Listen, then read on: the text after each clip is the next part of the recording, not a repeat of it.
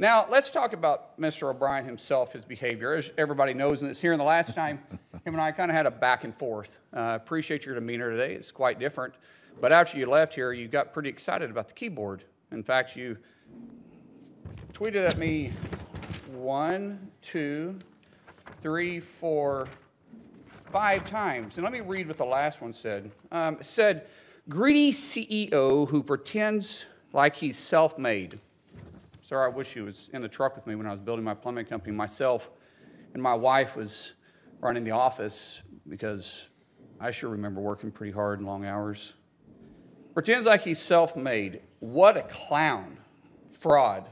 Always has been, always will be. Quit the tough guy act in these Senate hearings. You know where to find me, any place, anytime, cowboy. Sir, this is a time, this is a place. If you want to run your mouth, we can be two consenting adults. We can finish it here. Okay, that's fine. Perfect. You want to do it now? I'd love to do it right now. Well, stand your butt up then. You stand your butt up. Oh, hold on. Big Oh, guy. oh, stop it.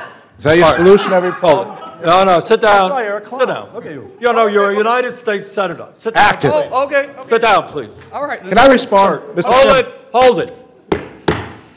If Hold we on. can't, no, This is I have the he mic. said. I'm sorry. This is Hold what it. he said. You'll have your time. Okay. Can I respond? Oh, no, you can't.